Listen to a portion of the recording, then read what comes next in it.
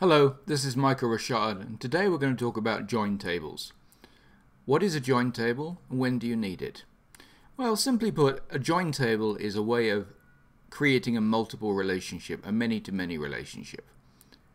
So if you have, for example, uh, a situation here where we've got a table of people, and those people are associated with a company, we don't need a join table. We simply need the relationship between companies and people using the primary key in the company table and the company ID field in the people table.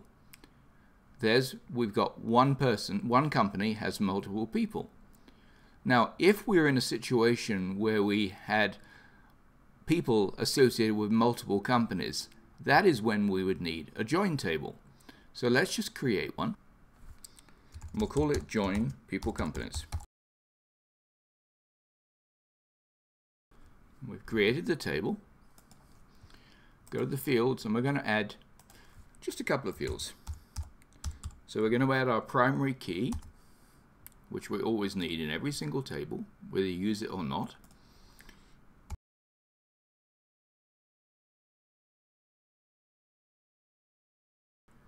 We need a company ID to link to the companies table. And we need a people ID to link to the people table. Now, often a join table will just consist of the IDs of the tables that it's relating to. But sometimes you might add, you might need extra fields. And let's say in this case, they might have a different phone number at each company they work for, which is logical. So we add that to the join table because it's specific to that relationship or that record. We go back to looking at our relationship graph. We've got companies and people. And because we're going to be relating people to multiple companies, I'm going to position the join table to the right of people. And I'm going to scroll down and I'm going to link the primary key from the people table to the people ID here. And then I'm going to create another occurrence of the companies table which I'm going to call JCP companies, which tells me it's coming from the joined people companies, or JPC rather. And here I'm going to link it to the company ID. So there's our join table.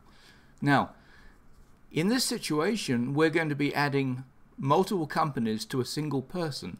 So it makes sense to allow us to create, to double click on the relationship and allow the creation of records in this table by the relationship. And we're going to delete the related records in the table if and when the person is deleted. So let's go back to our data set.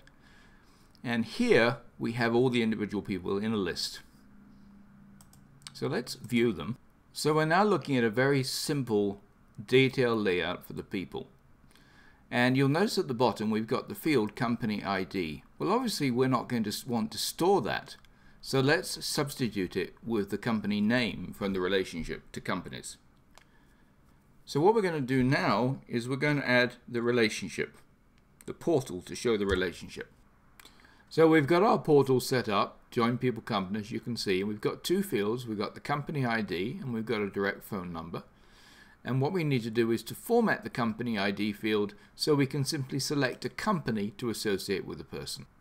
So with the inspector up, we're going to go into the control style, change it to a pop-up menu, and we're going to choose values from companies, which I'd already set up, but let me take a look at it and just show you.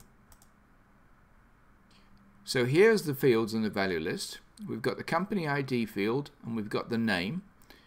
We're including all values because we want to show all companies.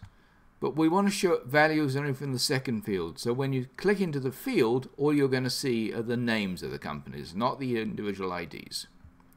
And now we're in Helga Rio, and we can simply select companies that she's associated with. And there's no limit. And we can go to somebody else, and we can choose companies that they're associated with.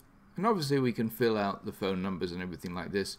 And you'll notice that once we've created the first record, the second row is ready to be created. So that's all there is to using a join table. It's very simple, very powerful, very, very useful, and I think you'll get a lot of use out of them. Thanks for watching. This is Michael Rocharde. Bye-bye.